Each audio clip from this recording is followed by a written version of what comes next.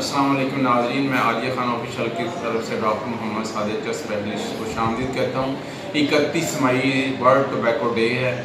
और ये दिन इसलिए मनाया जाता है कि जो इसके हैजर्ड्स हैं ना टोबैको के, बहुत ज़्यादा हैं। ये हार्ट पे इफ़ेक्ट करता है लंग्स का कैंसर करता है C V stroke cerebral spinal stroke करता है डायबिटीज़ बढ़ाता है।